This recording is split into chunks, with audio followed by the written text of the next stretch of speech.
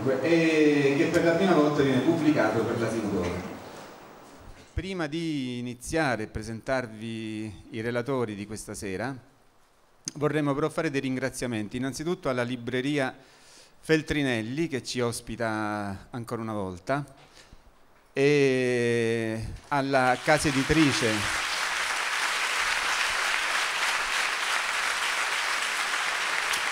alla casa editrice L'Asino d'Oro, agli editori Matteo Fago e Lorenzo Fagioli che hanno organizzato questo incontro. Eh. Alla, alla Mavi Video che ci permette di, la diretta internet e la registrazione.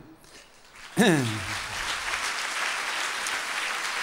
E poi e poi un, uh, un, grazie particolare a Massimo Fagioli per essere qua con noi.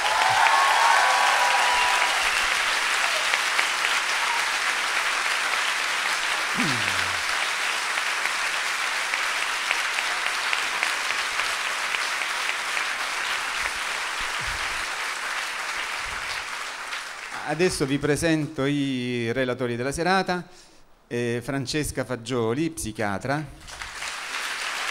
Mm. Elena Masini, studentessa.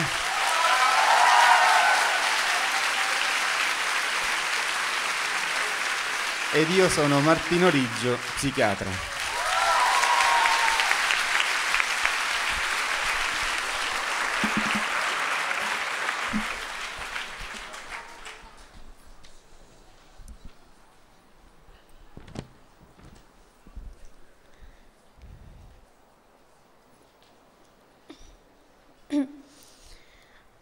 Als Gregor Samsa eines Morgens aus unruhigen Träumen erwachte, fand er sich in seinem Bett zu einem ungeheuren Ungeziefer verwandelt. Was ist mit mir geschehen? dachte er. Es war kein Traum. Gregorio Samsa, svegliandosi una mattina da sogni agitati, si trovò trasformato nel suo letto in un enorme insetto immondo. Cosa mi è accaduto? pensò. Non era un sogno.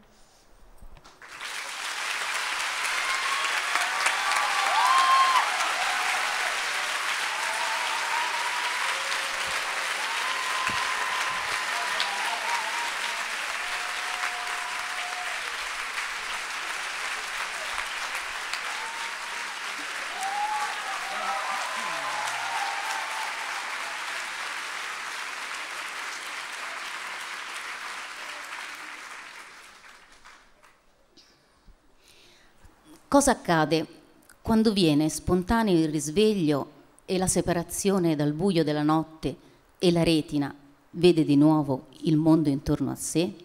Si chiedeva Massimo Fagioli nel luglio 2008. Gregorio Samsa non stava dormendo, non stava sognando. Si era svegliato come tutte le mattine per andare al lavoro. Che mestiere faticoso mi sono scelto, dover andare avanti e indietro in treno tutti i giorni. Si era svegliato ed aveva un rapporto esatto con la realtà. La sua stanza, il suo letto, sopra il tavolo un campionario di stoffe, Samsa era un commesso viaggiatore, solo che si era trovato trasformato in un enorme insetto immondo. Trasformazione.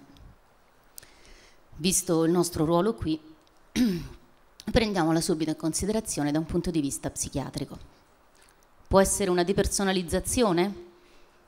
Cioè un disturbo della coscienza dell'io in cui il soggetto ha una sensazione di estraneità rispetto a se stesso, depersonalizzazione autopsichica, rispetto al proprio corpo, somatopsichica, o al mondo esterno, allopsichica o derealizzazione il tutto accompagnato con una sensazione improvvisa, incontrollabile carica di angoscia.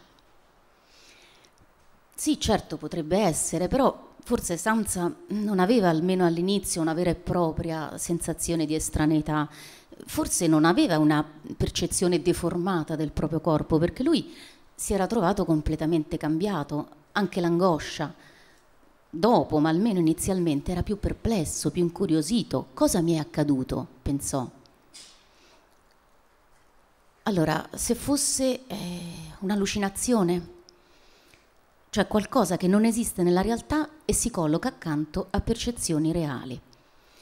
Ci hanno sempre dato la falsa definizione eh, di allucinazione come percezione senza oggetto. In realtà nell'allucinazione non vi è alcuna percezione, né alterata né sbagliata. Ai limiti la percezione alterata o sbagliata c'è nell'allucinazione, nell'illusione, scusate, in cui abbiamo nell'illusione un rapporto percettivo con l'oggetto, solo che è distorto. Nell'allucinazione, abbiamo raccontato nell'aula magna del 97, c'è un vedere cose, udire suoni o voci come se fossero realmente presenti. Il malato non dice io credo di sentire una voce, dice io sento una voce. C'è un credere, un pensare che giunge a realizzare un fenomeno vissuto come sensoriale, un inganno della mente che fa sembrare una propria idea, un pensiero, una credenza, un oggetto reale esterno. Depersonalizzazione, allucinazione. Ah, beh, ma certo, si era svegliato, quindi potrebbe essere un sogno. Ma Kafka non ci parla di immagine onirica. Samsa si chiede cosa mi è accaduto e Kafka ci dice non era un sogno. Il sogno, l'immagine onirica, è quella che si forma quando ci addormentiamo quando il buio della notte abbraccia le immagini senza coscienza, che poi, al risveglio, superbe della loro incomprensibilità, sfidano la mente umana cosciente a svelare il loro segreto. Ma la mente di Samsa non ricordava un sogno. Dice Massimo nella premessa, nella seconda premessa, aveva imprigionato la coscienza in una certezza di conoscenza e sapienza di qualcosa che non c'era. Allora, un'immagine inconscia che non era un'immagine onirica.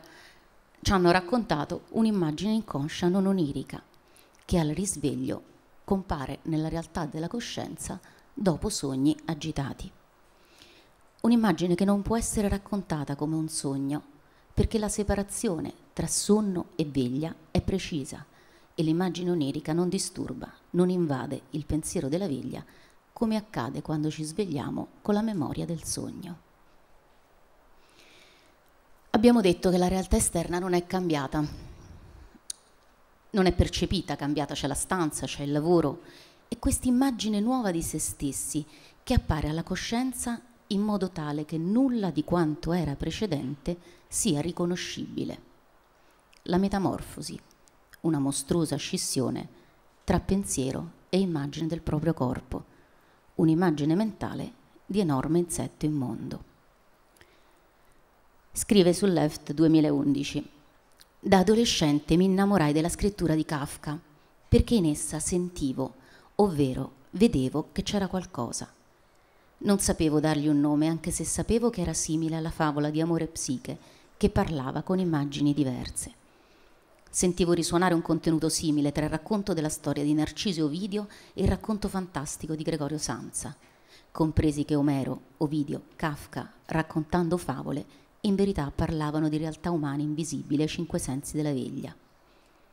Kafka, con un linguaggio da poeta, ci parla dell'enorme insetto immondo.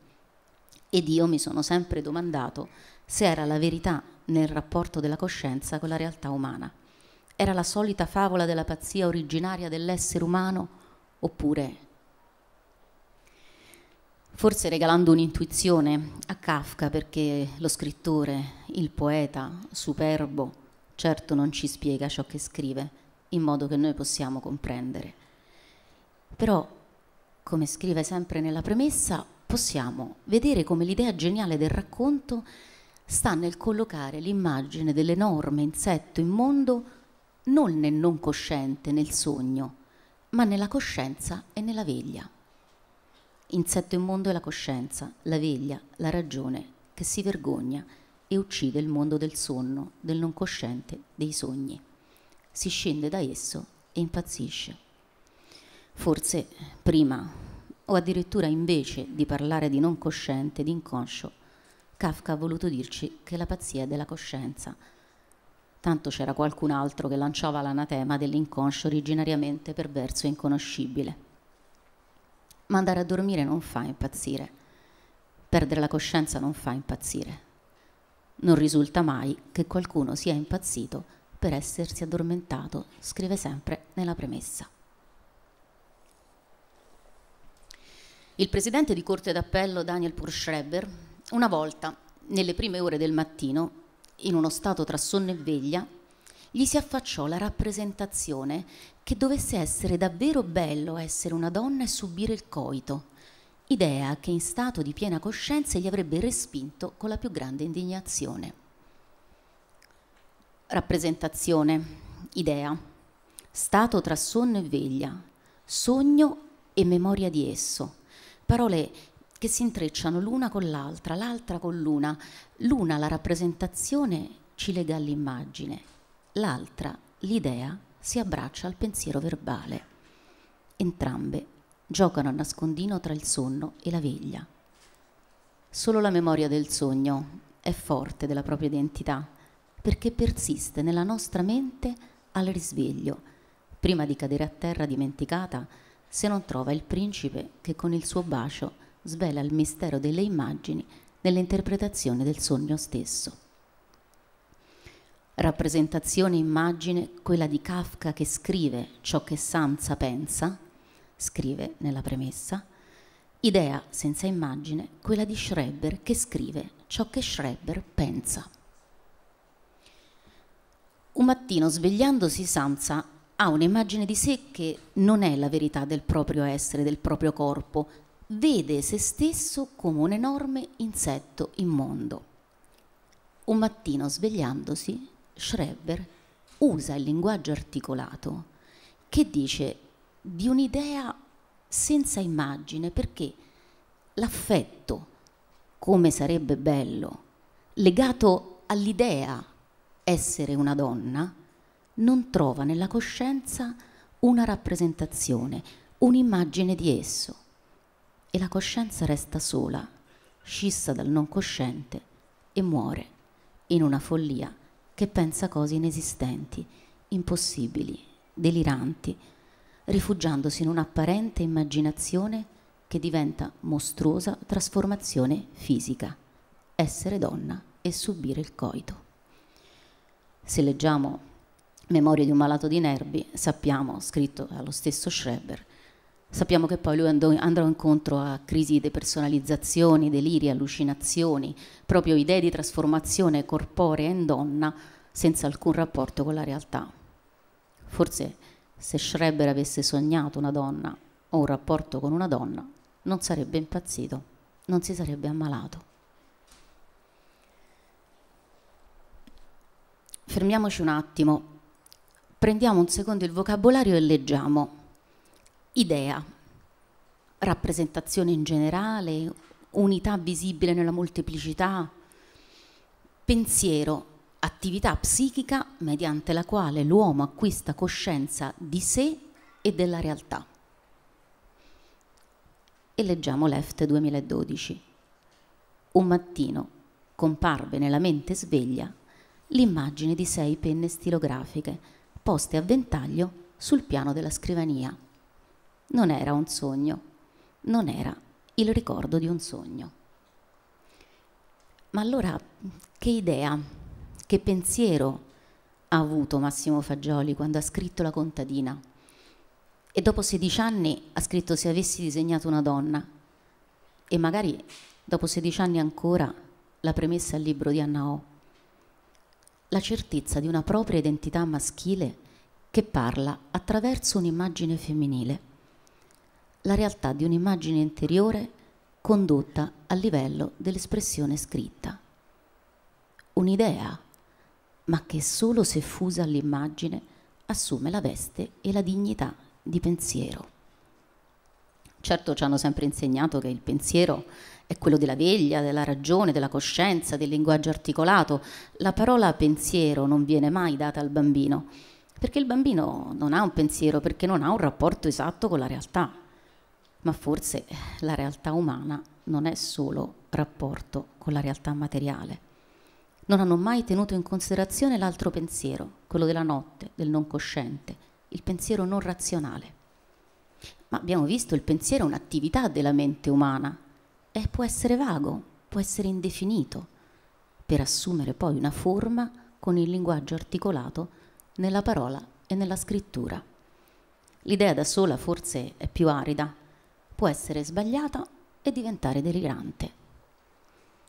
Allora, quando Fagioli ha scritto la contadina, ha avuto un'idea che in realtà era un pensiero e ce lo racconta nella seconda premessa del quarto libro. Ci scrive, se avessi disegnato una donna, la rappresentazione grafica si sarebbe posta davanti agli occhi come oggetto fuori dal soggetto e sarebbe stata guardata con sentimenti d'animo gradevoli. Se avessi sognato una donna, il pensiero e il linguaggio inconscio avrebbero raccontato di un'immagine che la coscienza avrebbe ricordato in una riproduzione mentale di immagine onirica se avessi parlato come una donna, alterando e deformando la realtà anatomofisiologica, l'immagine sarebbe apparsa anche deturpata, deforme. In realtà ha scritto un'idea, un pensiero che trova la via della scrittura per raccontarsi, per esprimersi e rappresentarsi e inventa un'immagine, una realtà mentale femminile così prepotentemente forte da sembrare fusa alla realtà fisica maschile, quasi a sussurrarci la speranza di un impossibile, viscerale rapporto uomo-donna. Ora dobbiamo rifermarci un attimo e prendere in considerazione, cercare una chiave d'oro che ci sveli il significato, forse il senso della parola trasformazione. E subito ci viene in aiuto il quarto libro, la risposta alla domanda 11, netta, puntuale.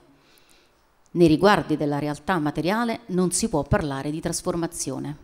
L'uomo nasce completo, si sviluppa, cresce, ma non cambia. Le mani restano mani, le gambe restano gambe. E lo stesso nei riguardi anche della natura e del mondo.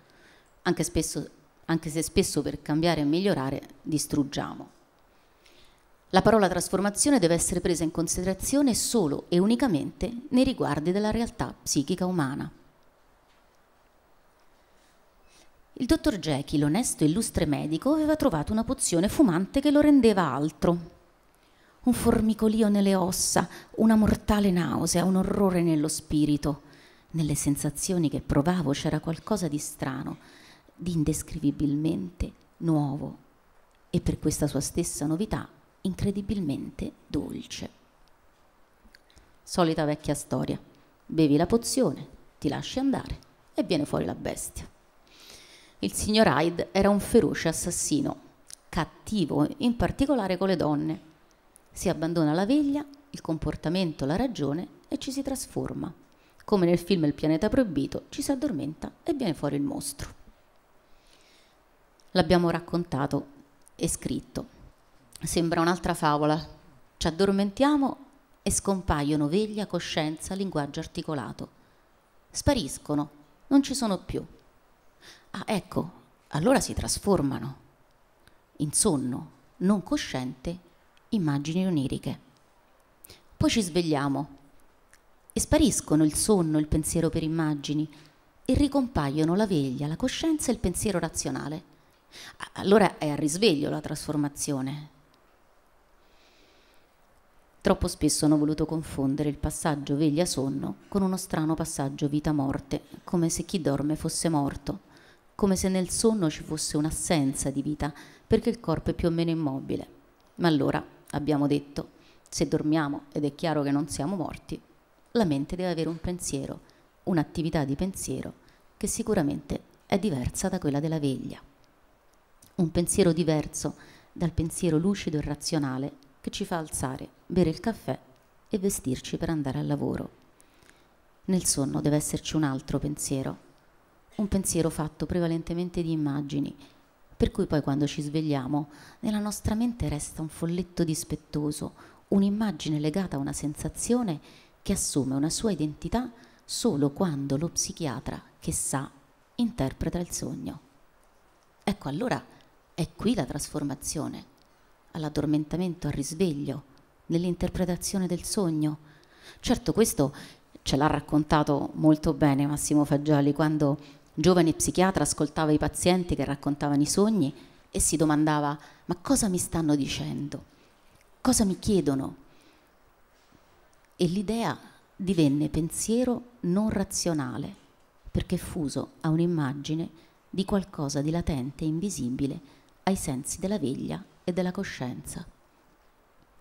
E la mano scrisse percezione delirante prima, istinto di morte e conoscenza poi.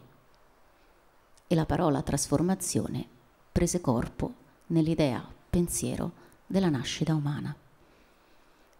Trasformazione perché è solo alla nascita che compare il pensiero umano che prima della nascita non c'è. Trasformazione come comparsa di un nuovo che prima non c'era. La metamorfosi, scrive in Left, titolo di Ovidio di Kafka, io lo uso per parlare di nascita, di trasformazione del feto in bambino. E inevitabilmente prendiamo un attimo istinto di morte e conoscenza. Il primo dattilo scritto circolò a gennaio 1971 e leggiamo La prima fantasia dell'uomo è la fantasia di sparizione. Geniale idea unire due parole così apparentemente lontane tra loro. Fantasia, nascita di qualcosa che prima non c'era, si unisce al non, la sparizione che non è distruzione, ma scomparsa di qualcosa che c'era. Alla nascita, per la vitalità, il feto diventa neonato con la fantasia, fantasia di sparizione del mondo, scrive nell'ultima premessa. E in istinto di morte e conoscenza rileggiamo nel neonato la situazione precedente, cioè quella dell'ambiente intrauterino, era caratterizzato dal buio la situazione veramente nuova, prima assolutamente e totalmente non esistente, è soltanto quella della luce. Alla nascita, la pulsione aggressiva contro la luce, l'istinto di morte come fantasia di non esistenza del nuovo sé nato in rapporto con la luce, conduce alla fantasia di esistenza dell'oggetto intrauterino come immagine di esso, memoria o traccia amnesica inconscio mare calmo. E alla mente torna la poesia di un tempo lontano che mi insegnava da piccola. E parole, rossi folletti gridano un canto, parole, grigi folletti gridano per un canto, parole, foglioline brune gridano un canto. Ed è così che le parole scritte in passato diventano diverse, pur essendo il linguaggio articolato lo stesso di 50 anni fa, scrive sul Left, aprile 2013. E leggiamo incuriositi e un po' timorosi. Movimento, tempo, pulsione, fantasia di sparizione. Piano, con eleganza, le tre parole movimento, tempo, pulsione fanno un salto in avanti. Prima il movimento, senza tempo, simultaneo all'arrivo della luce sulla retina, nella reazione immediata, indifferenziata e uguale per tutti gli esseri umani. La pulsione che con la vitalità fa il movimento della sostanza cerebrale, la biologia che diventa fantasia. Inizia la vita. Con il movimento inizia il tempo della vita. Fantasia di sparizione dare un nome a un movimento che rende inesistente una realtà per simultaneamente rendere esistente un'altra realtà che è verità umana. poi la memoria fantasia, formazione di quell'immagine di esistenza della realtà biologica, la pelle nel liquido amniotico, quando ancora non eravamo nati. Ed ora basta. Stanca, non riesco a rubare ancora. Non posso raccontarvi oltre quello che racchiude la frase teoria della nascita, non ne sarei assolutamente capace. Solo una traccia, un lume, per dare un volto a quei sassolini bianchi che ogni giorno ci lascia sul sentiero. Troppo spesso, come Ansel e Gretel, ci siamo persi, non ritrovando la strada di casa e rischiando di finire nel forno della strega. Sassolini, come pietre d'acciaio, fondanti una teoria con un linguaggio scientifico, a volte duro, difficile, ma necessario, quello distinto di morte e conoscenza. Sassolini, come pietre preziose, le parole che scrivo ormai da anni sul left, che racconta nelle lezioni, nelle nuove premesse. Parole che dicono, ripetono, rinnovano i pensieri di un tempo, senza cambiarli solo vestendoli di nuovo. Parole, quando la mano si muove da sola nella scrittura, in un movimento istantaneo con la mente. Parole, quando la voce genera un suono nei racconti. Ricreazione di quel primo momento della nascita in cui tutto è silenzio, che diventerà linea nella scrittura. Ricreazione di quel primo momento della vita nelle parole che sono pensiero ricreazione, forse, ognuno di noi, della propria nascita, a volte perduta, ogni volta più forte di prima nella costruzione di un'identità e chissà, qualche volta, ricreazione di quell'unico, particolare rapporto feto liquido amniotico in una storia d'amore. Grazie.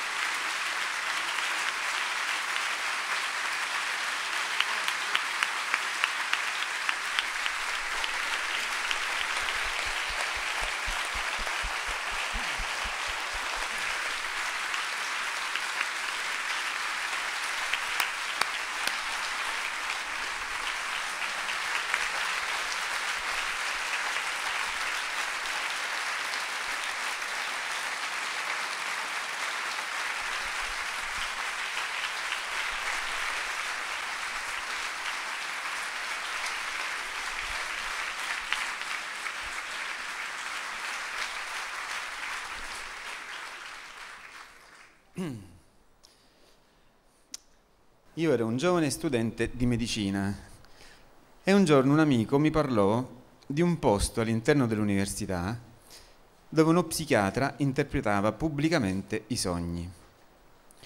A quei tempi, studiando medicina, avevo raggiunto una certezza, non avrei mai fatto lo psichiatra. L'idea però di un medico che interpretava i sogni mi incuriosiva Seppi subito che quello psichiatra aveva una formazione di tutto rispetto ed aveva anche scritto tre libri. Lo sentii interpretare i sogni e non me ne andai più. Ricordo che c'era una stanza non molto grande, strapiena di gente e di fumo. C'erano solo poche poltroncine di solito, ma non sempre, se ne lasciava una libera per lo psichiatra quando arrivava anche se potrà sembrare strano, non c'era nessuna distanza con lo psichiatra. Spesso si stava a contatto di gomito, i braccioli della sua poltroncina erano sempre utilizzati come seggiole su cui sedersi. E anche se potrà sembrare ancora più strano, non c'era alcuna titubanza a parlare. Anzi, al contrario, un attimo di pausa da parte di Fagioli veniva subito riempito, diciamo, decisamente, da una voce che si inseriva e che 99 volte su 100 iniziava col raccontare un sogno. Notavo che lo psichiatra era sempre puntualissimo, sia per iniziare che per finire la seduta, così come notavo che non saltava mai una seduta. C'era gente di tutte le età e di tutte le estrazioni sociali, ma la maggioranza eravamo giovani e facciamo riferimento tutti alla cosiddetta area della sinistra. Marx lo leggevamo poco, ma il primo maggio quando ancora c'era una grande manifestazione per la festa dei lavoratori, molti di noi ci andavano, sperando di ritrovare in quella enorme massa di persone e di bandiere rosse qualcosa che somigliasse un po' a un'utopia o a un ideale. Era nei rapporti privati, in particolare nei rapporti fra uomo e donna, che trovavamo inspiegabilmente il nostro fallimento. Nell'idealizzare il collettivo, il proletariato, il popolo, ci eravamo dimenticati di chiederci qualcosa sui nostri rapporti personali. Non ci spiegavamo mai perché ogni tanto qualcuno, compagno di lotta, stava male, a volte fino a ricoverarsi. Non ci spiegavamo mai un certo senso di vuoto, di apatia o di angoscia che ci sembravano del tutto immotivati. Si cercava di stare tranquilli, calmi, fermi, e in quella tranquillità ci sentivamo però immobili. Avevamo solo un abito, la nostra identità comunista, e con quella ci sentivamo belli e speciali. Pensavamo fosse facile stare bene, occorreva solo di rivendicare la nostra libertà che i vecchi, i padri, a volte lo stesso Partito Comunista ci impediva di raggiungere. Volevamo pensare di essere dei ribelli, degli innovatori, dei coraggiosi. E anche se non lo sapevamo, ma forse aspettavamo soltanto di fallire. Aspettavamo di vedere passare i nostri anni più giovani, i più belli. Aspettavamo quella mattina in cui svegliandoci avremmo messo via i nostri abiti rivoluzionari e sperando di non avere già fatto troppi danni, avremmo cercato di integrarci rapidamente in quella stessa società che dicevamo di odiare. In quegli anni non sapevamo molto di Massimo Fagioli, almeno coscientemente ci sembrava ci piacesse. È vero, spesso era duro, caustico, affatto amichevole, ma sul Corriere della Sera del 12 marzo del 78 lo avevamo sentito dire per me non c'è sessualità senza socialismo e non c'è socialismo senza sessualità. La società borghese è masturbatoria. Viviamo in una società dove la famiglia ha un enorme potere distruttivo. E come poteva non piacerci? Socialismo, sessualità, famiglia violenta, sembrava il nostro portavoce. Sembrava dare parole, e che parole, a quello che ci sembrava fosse anche il nostro pensiero. E poi anche lui era un ribelle, un coraggioso, come noi. Diciamoci la verità, di Massimo Fagioli, di chi fosse, di cosa stesse proponendo, della sua teoria e soprattutto di come diavolo avesse fatto, non avevamo capito assolutamente nulla. Forse però non potevamo capire. A quei tempi, chi fosse Fagioli, avremmo dovuto intuirlo esclusivamente dai tre libri, dalla teoria ma la teoria non veniva capita ed era continuamente ignorata. Esisteva forse come un difetto di comprensione, un disturbo grave della vista, che non ci faceva neppure chiedere chi fosse Massimo Fagioli. L'unica cosa, l'unico spiraglio di luce che entrava in occhi altrimenti chiusi era l'interpretazione dei sogni. Era difficile, se non impossibile da pensare, ma ciascuno di noi sentiva, anche se non capiva, che l'interpretazione arrivava in profondità, toccava. Era come un afflusso di sangue che arrivava improvvisamente in testa e che svegliava. Forse perché l'interpretazione non arrivava mai da sola, ma si portava sempre dietro una sorella che spesso avremmo voluto non ci stesse, la frustrazione. Dalle notti dell'isteria, la realtà del sogno rendeva ognuno responsabile delle proprie immagini oniriche lo rendeva responsabile di quella realtà detta inconscio, lo rendeva responsabile di quanto nell'uomo non era stato mai considerato reale. Non era sapere cosa sognavamo, era un rapporto con uno psichiatra che ci diceva cosa realmente pensavamo. E forse era questo l'unico momento in cui si aveva come la sensazione di chiedere qualcosa allo psichiatra, anche se la parola richiesta di cura non veniva neppure pensata. Nel gennaio del 79 i seminari ricevettero dall'allora direttore di psichiatria l'avviso di sfratto. Non ci furono scene di panico. Ricordo che Fagioli ne parlò subito all'interno dei seminari, dicendo che avremmo cercato una nuova sede. E infatti fu così. Nell'aprile del 79 Fagioli firmava il compromesso per i nuovi locali a via Roma Libera 23. L'analisi collettiva aveva una nuova casa, non era destinata a morire in strada ai primi freddi dell'inverno. E allora forse venne da sé, o forse fu frutto di un calcolo per dimostrare chissà cosa, ma insomma andò così e chiedemmo al medico di togliersi il camice di superare quell'arroccamento che ci faceva vivere una distanza insopportabile nel setting. Alla fine pensavamo di essere stati cacciati insieme dalla casa del padre. Probabilmente pensavamo a causa della bellezza della nostra storia. Era ragionevole pretendere un maggior coinvolgimento, una maggiore vicinanza, una specie di prova d'amore. Era stato pubblicato il libro della Freeman su Anna O ci sembrava logico chiedere di andare oltre il fallimento di Breuer, chiedere di superare l'odiato setting. Non farlo per noi avrebbe significato la ripetizione di quella fuga e di quel fallimento che aveva condotto al ricovero di Anna O.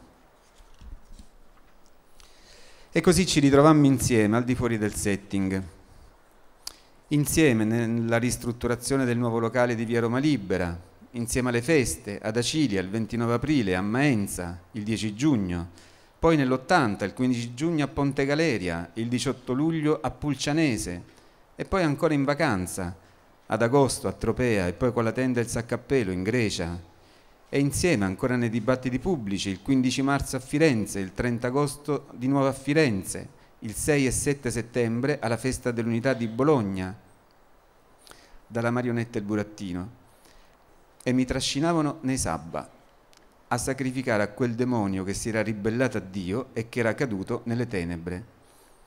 Ed io onoravo l'orgia della rivolta, le feste, il 68, lotta continua, l'arte e la scienza, grata alle donne di avermi dato l'esistenza materiale. Ma l'uguaglianza non era identificazione. Eppure non capivamo. Non capivamo perché continuavamo a stare male, non capivamo perché continuavamo a sentire così distante quel medico che aveva deciso di non fuggire.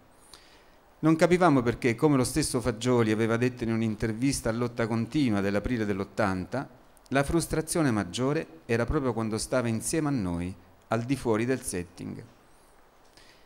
Ma forse non era solo la rottura del setting ad impensierirci, c'era dell'altro. All'inizio non ci facemmo troppo caso, Cercammo di guardare altrove, ma era impossibile non vederli. Era come se intorno a noi fossero comparsi dei frammenti d'immagine, zone di colore, chiaroscuri. Sembrava l'immagine di una contadina, ma non veniva descritta, non era un'immagine chiara. Forse era un modo di essere, forse era un modo di vivere. Cercavamo di specchiarci in quel quadro che sembrava fosse sempre in movimento ma distogliavamo subito lo sguardo perché inspiegabilmente non ci rifletteva.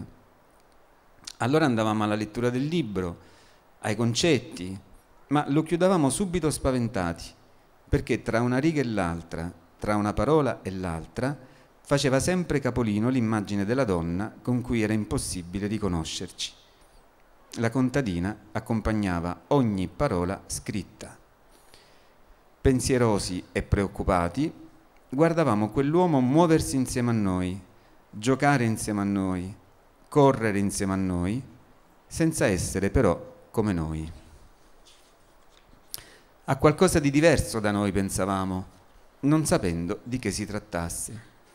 E a ripensarci ce l'aveva già detto nell'estate del 79, nella premessa all'edizione francese Distinto, quando aveva parlato di un'identità che era fusione fra inconscio, coscienza e comportamento e a Napoli nel 96 ci avrebbe detto che aveva creato un'immagine per raccontare di una fantasia, di un'immagine interna opposta al se stesso della coscienza e del comportamento, la contadina. Non avevamo così coraggio da pensare che volevamo essere noi, la realtà esterna, visibile e concreta che andava ad incarnare l'immagine della contadina. Figli di una cultura popolare, guardavamo la nostra camicia rossa di un comunismo che sbiadiva ogni giorno di più e pensavamo ad una uguaglianza, una similitudine, qualcosa che ci accomunasse. E così indossavamo le stesse magliette, avevamo gli stessi adesivi sulle nostre macchine, c'era anche la stessa scritta, è una storia diversa, una storia d'amore. Forse lo era una storia d'amore, sebbene non capivamo mai quanto scherzasse Fagioli quando canticchiava una canzone di quei tempi della Nannini, Quest'amore è una camera a gas. e fu alla ripresa dei seminari nell'80, quando ancora inebriati e offuscati dalle feste, dai dibattiti, da un'estate passata insieme, tornando ad occupare quella stanza piena di gente e di fumo, che ci sentimmo traditi. In quella stanza ricompariva lo psichiatra. Nell'euforia della festa avevamo dimenticato la psicoterapia. Quando ci fu giustamente ricordato, ci sembrò come di essere ricacciati nell'angolo della casa che ci toccava occupare, dopo aver ballato per un'intera notte col padrone di casa. Ci sentimmo persi e reagimmo nel modo peggiore con cui può reagire chi si sente tradito, aggredendo, dalle notti dell'isteria. E loro che avevano fallito la ricerca sulla libertà, felicità, creatività, stabilirono uno scontro feroce contro questo medico che voleva sostenere di non aver fallito la ricerca sulla libertà, felicità, creatività. Frastornati, incerti, andavamo ogni settimana a quell'appuntamento che ora era in una nuova sede e che ci cominciava a sembrare così difficile, impossibile, ma assolutamente indispensabile. Eravamo pronti a riconoscere a Fagioli una diversità nel pensiero, un'acutezza non comune, un'intelligenza brillante, ma eravamo terrorizzati dallo psichiatra, da chi diceva che non gli interessava fare nessuna assistenza, nessuna alleanza, ma curare per guarire, da bambino donna. Qui si tratta di far emergere comparire quanto prima non era esistente, in primo luogo gli affetti in chi non li ha, alle persone dalle quali sono spariti per sempre, renderle in primo luogo animate, nel senso di sentire, interessarsi, desiderare, fare comparire gli affetti in chi li aveva persi, in persone che apparentemente vive erano in realtà inanimate. E come non poteva non tornarci in mente l'inizio dell'analisi collettiva?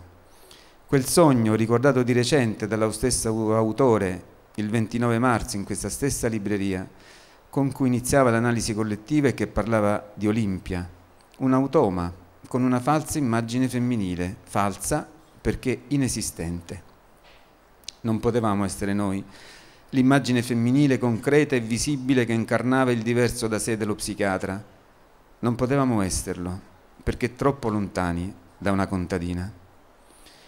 Iniziò così un confronto dialettico duro, incessante, faticoso, in cui lo psichiatra ci faceva vedere a poco a poco la stupidità della violenza nell'aggredire chi non si decideva a morire insieme a noi. A poco a poco, all'interno della seduta, smettemmo di parlare per primi e prendemmo una maggiore distanza fisica. Forse era vergogna, forse sensi di colpa, forse era la difficoltà a sostenere il rifiuto verso propri annullamenti e proprie negazioni, forse era paura. Stava succedendo che man mano che l'annullamento perdeva la sua onnipotenza, togliendoci la tranquillità mortale di un tempo, emergeva un rapporto in cui l'altro non spariva completamente. Restava come un'ombra, una percezione con un significato difficilmente decifrabile, ma che ci sembrava ci aggredisse. La nostra reazione immediata, quasi difensiva, tendeva però a ripristinare l'onnipotenza dell'annullamento era la percezione delirante. E quando la crisi passava per l'abilità del medico che interveniva immediatamente, ci restava il senso di colpa per aver aggredito un volto pulito.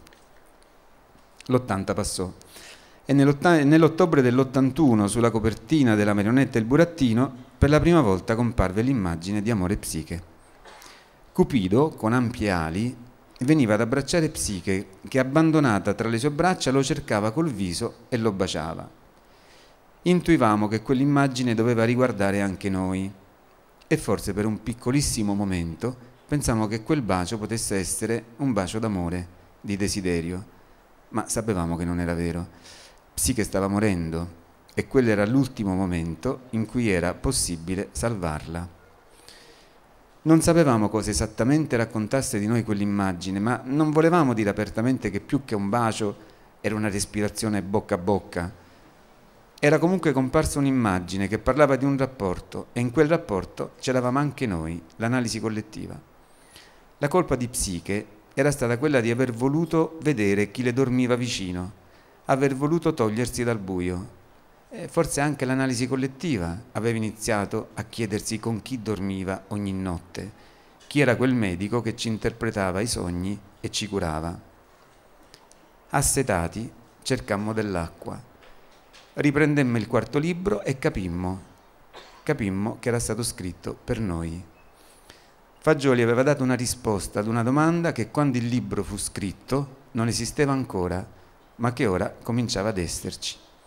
E nel libro trovavamo la storia di un medico, della sua coerenza, del suo coraggio, della sua incoscienza, della sua testardaggine, della sua ricerca solitaria, delle sue scoperte, del suo amore per una contadina da cui non si separava mai.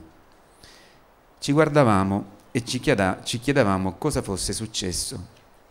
E fu ad Arezzo, nell'86, che sentimmo una donna raccontarci quegli anni. E l'analista di norma interpreta. Cerca di fare comprendere e lenisce la disperazione di aver perduto qualcosa, la colpa di aver abbandonato il figlio ma se l'analista non interpreta, ma è, presenta il suo essere nato e vissuto. La nascita proposta, fatta vedere, scatena la malattia nella disperazione della violenza, la decisione lucida di distruggere colui che dimostra la colpa della propria disonestà e impotenza. Ad Arezzo capimmo cosa c'era successo. Fagioli aveva mostrato un'identità e così facendo aveva reso evidente anche ai nostri occhi la nostra malattia, togliendola da una lenta cronicità che avrebbe proceduto apparentemente con pochi sintomi fino all'incurabilità. Renderla evidente e curarla. Ecco, almeno per me, ma penso per moltissimi altri, questo libro rappresentò questo, la possibilità tra mille difficoltà di cominciare a vedere un po' di più nelle storie personali raccontate, nei discorsi teorici, nelle ricerche e soprattutto nel linguaggio, sempre chiaro, aperto, concreto, chi fosse Massimo Fagioli. Sappiamo bene che questa è una domanda a cui oggi, pur avendo capito molte cose, non siamo ancora riusciti a rispondere. Sappiamo pure però che continueremo ancora a chiedercelo. Grazie.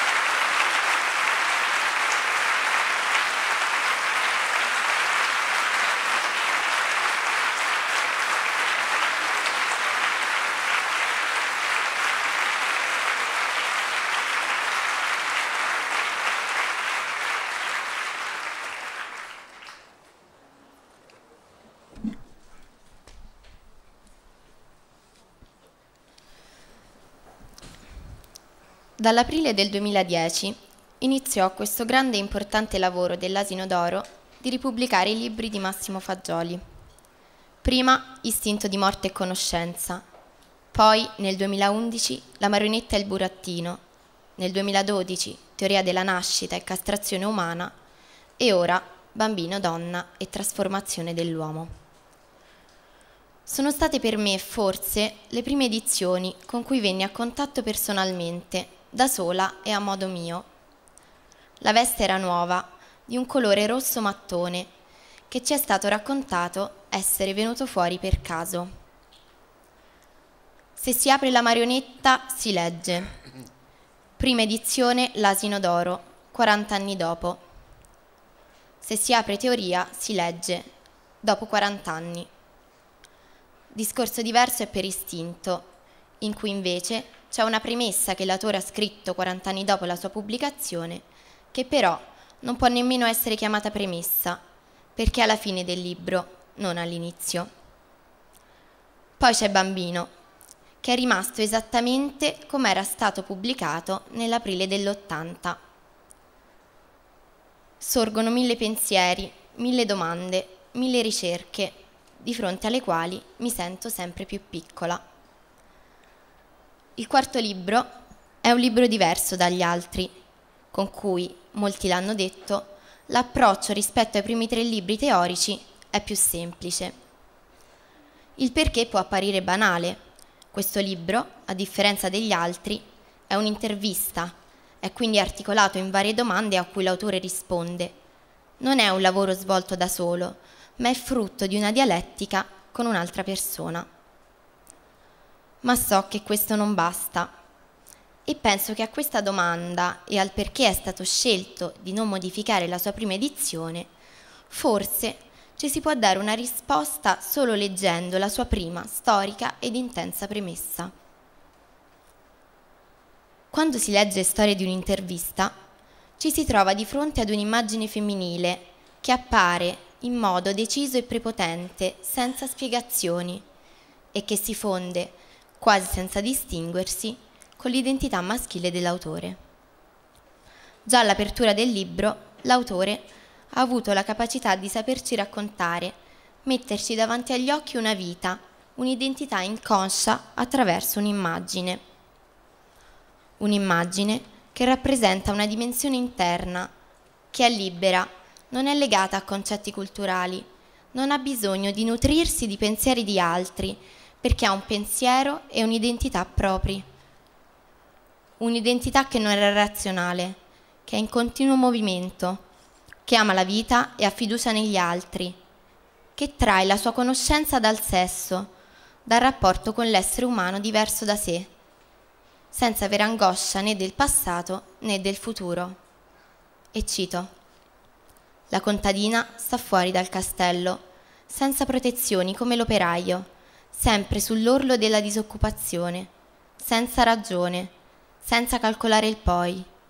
Vive l'er presente dell'oggi, è il carpe diem che non provvede mai all'inverno, perché non crede all'inferno, non sente il terrore della morte dei sensi, non lo pensa, non lo ipotizza, non pensa mai alla propria morte all'angoscia di non avere l'orgasmo.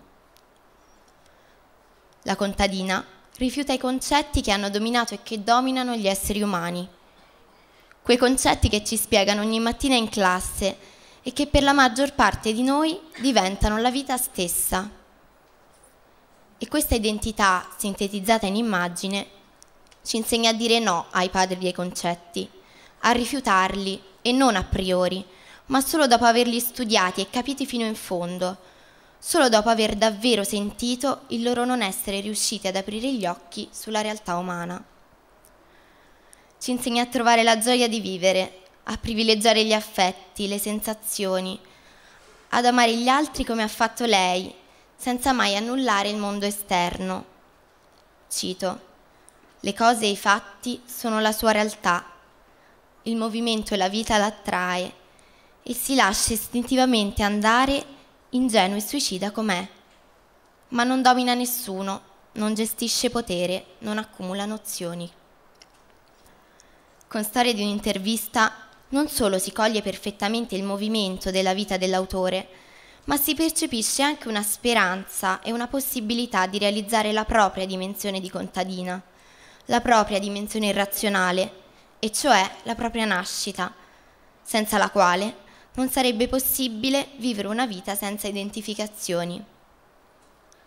Leggendola ti viene proprio voglia di lasciarti andare, di capirci di più, di conoscere, di avere rapporti con gli altri puliti, di fare le cose per la motivazione del niente, di spendere la sapienza per la vita. Questa immagine riesce a colpire profondamente perché questa fantasia interna, rappresentata da una donna, ci è stata raccontata senza alcun annullamento né della realtà materiale né dell'identità maschile dell'autore. Dopo aver finito il libro ed aver letto le risposte di Massimo Fagioli, tornando sulla premessa, ci si rende conto della sua importanza perché in qualche modo riesce a rappresentare il presupposto per la conoscenza, che è stato per millenni negato. Nell'articolo di Left del 9 febbraio 2013 l'autore scrive Così, nella storia del pensiero umano, il termine irrazionale divenne l'anatema che escludeva dalla società gli stupidi, gli incapaci e gli artisti, i pazzi ed ogni persona che si distaccava dalla normalità di essere per realizzare soltanto la sopravvivenza ed il benessere del corpo. Hanno sempre spiegato che l'uomo è come diviso a metà.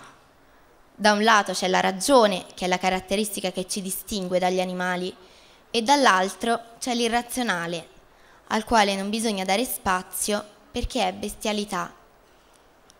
Schopenhauer scrisse Vi è dunque nel cuore di ogni uomo una belva che aspetta solo il momento propizio per scatenarsi e infuriare contro gli altri.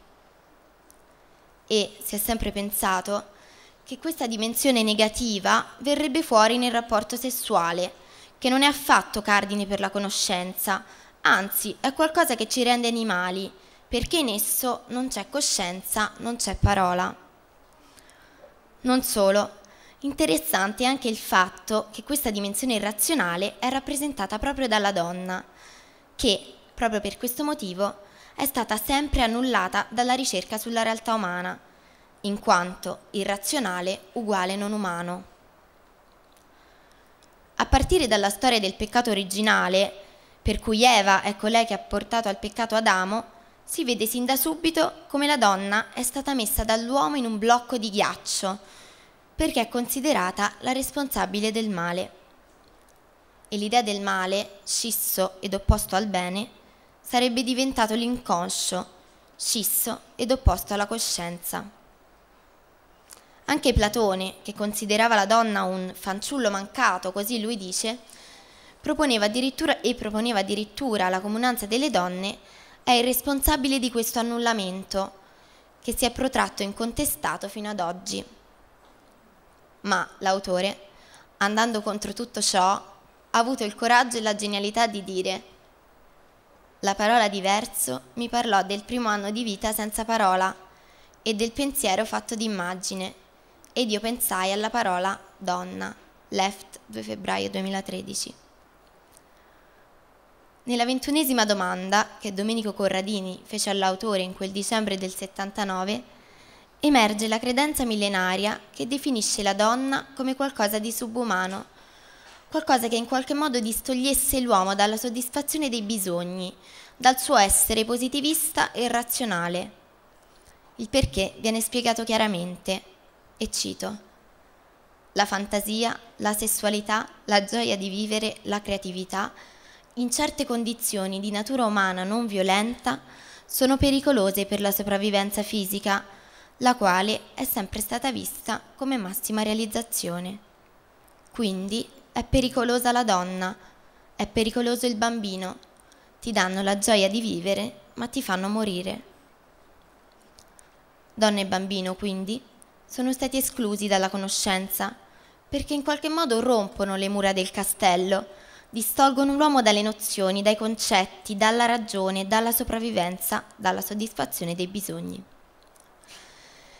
E già, se l'autore avesse detto solo questo, sarebbe stato sufficiente per sconvolgere credenze radicate da secoli e secoli. Ma lui va ancora oltre. Non si limita al rifiuto. La sua ricerca ci spiega anche i motivi più profondi che hanno portato a questo annullamento. Ci racconta che l'uomo, annullando bambino e donna, annulla anche due sue dimensioni interne, la fantasia e il desiderio, che, realizzandosi, lo porterebbero a non gestire più tutto il mondo che lo circonda.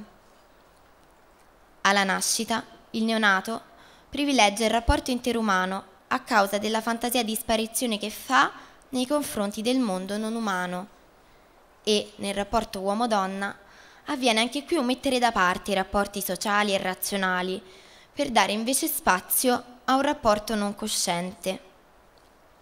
Dalla nascita, in cui il rapporto era non cosciente, si arriva pian piano ad essere corrotti dalla società e dalle istituzioni fino all'adolescenza, durante la quale, col rapporto con l'essere umano diverso, si dovrebbe ricreare quella dimensione irrazionale, ovvero la propria nascita, cosa che purtroppo spesso non accade. E proprio questo fallimento durante l'adolescenza rende ancora più anaffettivi e razionali e completa la scissione tra coscienza e non coscienza. Non a caso è interessante notare che l'autore ha percepito l'importanza del rapporto uomo-donna proprio nella sua adolescenza, con un rapporto sano con il diverso, che lo ha portato, successivamente alle separazioni dello svezzamento, a ricreare la propria nascita. Nella fascetta di questa nuova edizione si legge Il diverso da se stessi è realtà ignota del pensiero senza parola. Non negato fa un'identità nuova, senza scissione tra coscienza ed assenza di coscienza. Mi viene il pensiero che forse questa nuova identità, che esisteva già negli altri libri, ci si propone qui in modo diverso, con un approccio più diretto, più reale, e forse è proprio questo il motivo per cui è, tra virgolette, più semplice. Mi rendo conto che però questa relativa semplicità inizia pian piano a complicarsi, forse proprio a causa del momento in cui questo volume è stato riproposto. Infatti, poche settimane fa è stato ripubblicato La storia di Anna O, che ci ha raccontato del fallimento dell'identità di una donna che si ammalò e nessuno riuscì a curarla e guarirla. E, strano caso, subito dopo questa storia è arrivato Bambino, che invece ci parla di un'identità sanissima e che è riuscita, nella teoria, nella cura di migliaia di persone e nella ricerca, che non smette mai di andare avanti ed è sempre straordinariamente attuale. Forse questo era proprio il momento giusto perché ci permette di vedere e di toccare con mano ancora di più questa riuscita. Abbiamo detto del bambino, della donna, ora c'è la trasformazione. E l'ora non è solo la conclusione del libro, cioè la trasformazione dell'uomo, ma è anche un'ora nel senso storico e temporale. Tutto è cambiato, è nuovo, si è trasformato, è altro. L'autore nella penultima domanda ci dice la liberazione, correttamente intesa, è rifiuto, abbiamo detto, scientifico, metodico, che fonde la teoria coerente ad una prassi costante di continuo rapporto con la realtà, senza annullamenti e negazioni. È ricerca, scoperta, conoscenza, trasformazione. È quindi innanzitutto ritrovamento del proprio essere per essere in rapporto concreto e sapiente con la realtà e con la storia. Leggo quest'ultima frase e penso che forse tutto torna. Forse quella possibilità di liberarsi, di trovare la propria nascita, di imparare a vedere la realtà dell'altro, l'abbiamo davanti agli occhi adesso, per la riuscita e la realizzazione del grande gruppo che 40 anni fa andò spontaneamente dall'autore dei tre libri. Penso che una delle cose più belle di questo libro sia stato prendere e succhiare tutto quello che l'identità, scritta sulla pagina e stampata nella mente, ti regala. E mi piace immaginare che ognuno, a seconda del momento in cui lo legge, prenda qualcosa di diverso ma ugualmente importante. Quindi, in questo momento, Concludo leggendo. Noi racconteremo al bambino che no, non è il sapere, non sono i concetti che fanno la forza dell'uomo. È il sesso degli uomini che dà i nomi alle cose. Diventare grandi è allora facile, basta sapere aspettare. Speranza e certezza del poi si fondono nel fare da soli, nel carpe diem del giorno dell'oggi. Il presente amato ci toglie dalla masturbazione sul passato, dalla strattezza del futuro.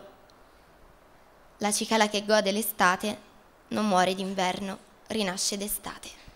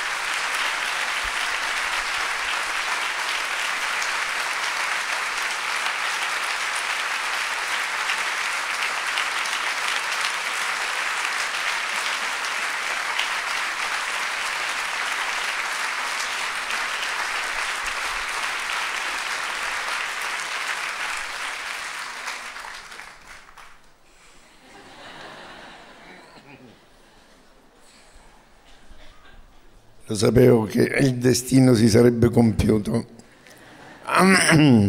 Vedete bene mm, che la voce non è più quella dell'altra volta. E eh, credo di averlo fatto apposta. Di dormire scoperto con la scusa del caldo che era eh, comparso in questi ultimi giorni. E quindi mm, alterare un po' la voce mm, renderla un po' debole, malaticcia da vecchio, diciamo pure. Perché? Non lo so perché. Qui l'inconscio comanda più della coscienza. Mm. Me l'avevano detto mm. che una giovane fanciulla avrebbe letto quello che la giovane fanciulla ha letto. Ma non me l'aspettavo non me l'aspettavo. Eh. E quando è venuto questo suono in lingua tedesca, madonna, ma scombussolato, e la voce, vedete bene, è andata via del tutto. Perché è come se distante avessi rivissuto una cosa che si è messa nell'adolescenza, una realizzazione del... e poi qui vi è stato detto delle letture di Kafka, un modo di scrivere di Kafka, è una coltivazione che ho fin dall'inizio perché fin adolescente avevo distinto Kafka dagli altri. E adesso mi sono reso conto, per cui eh, poi eh, quello è stato il centro eh, di quello che direi del 96, eh, quando ho scritto la seconda premessa.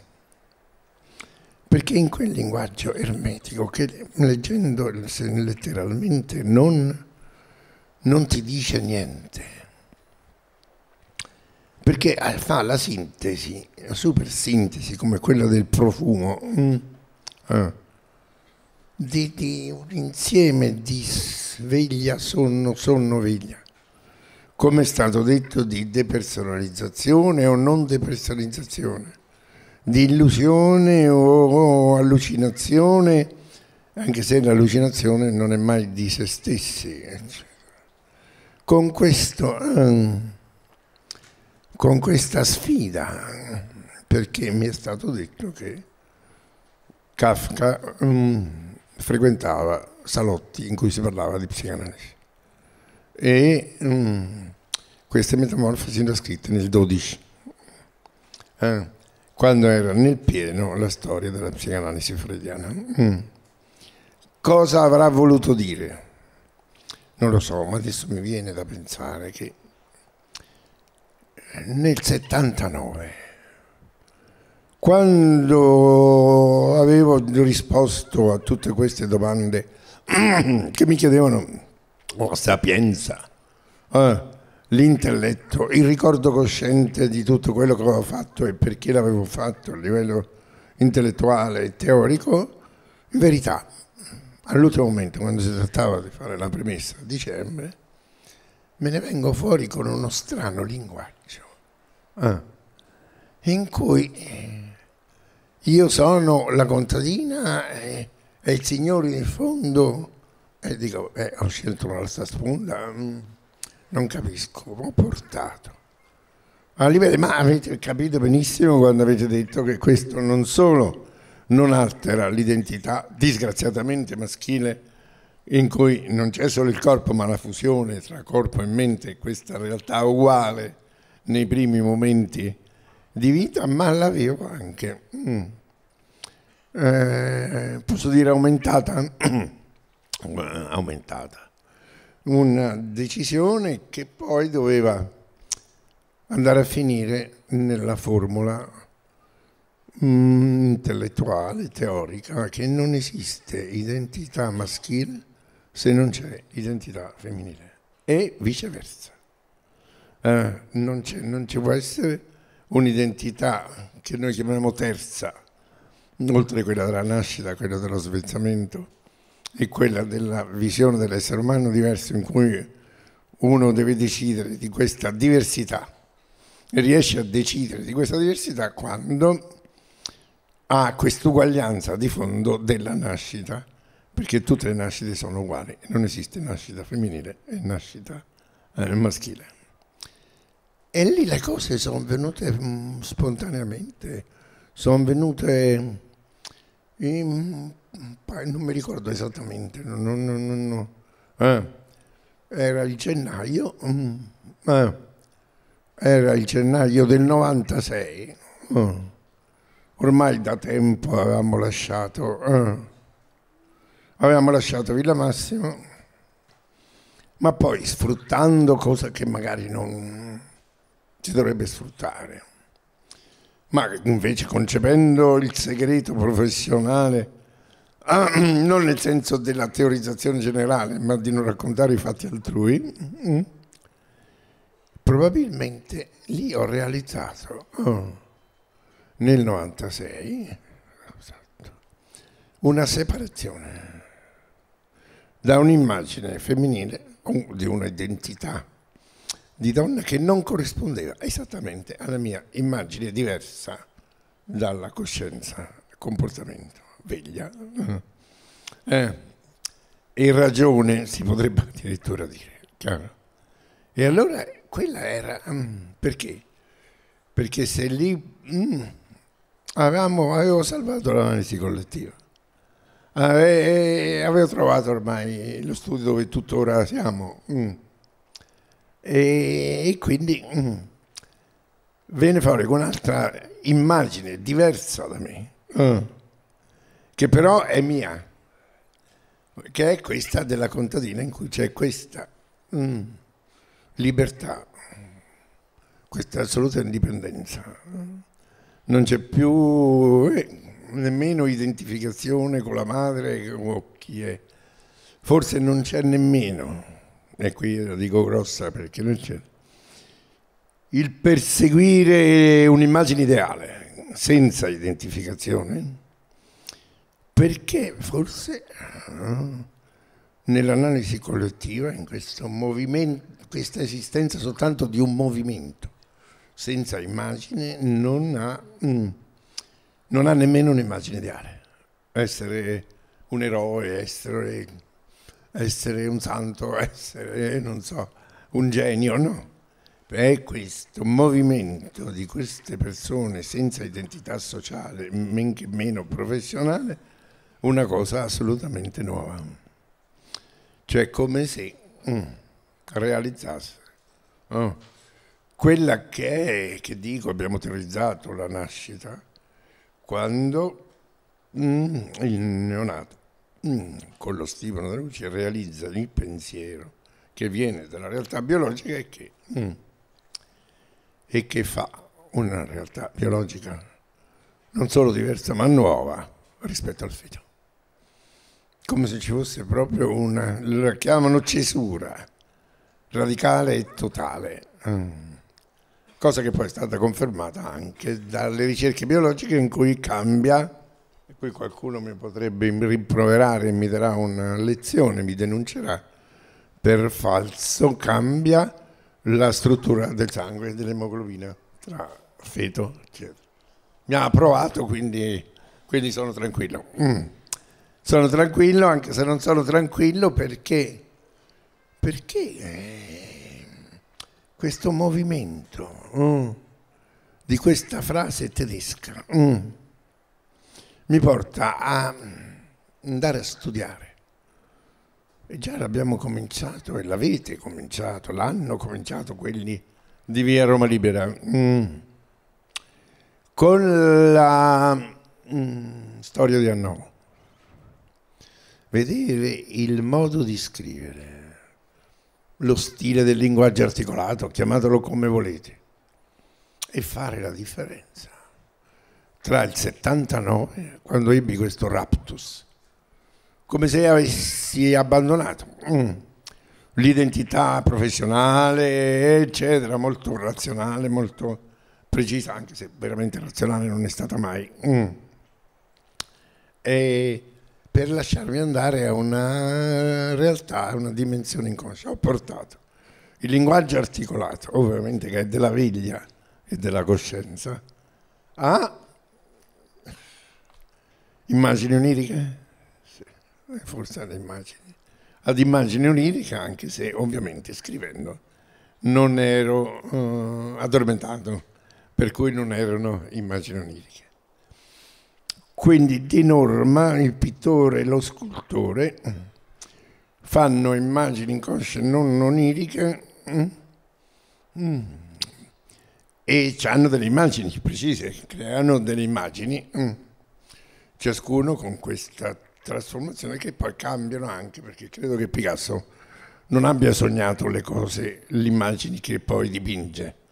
Quindi è una trasformazione anche delle immagini oniriche, cosa che non fa Dalì o altri che parlano proprio, descrivono il sogno. Mm. E io l'ho trasformata in linguaggio articolato. Mm. Che sia lì il punto sul quale stiamo ragionando da tanto tempo, mm.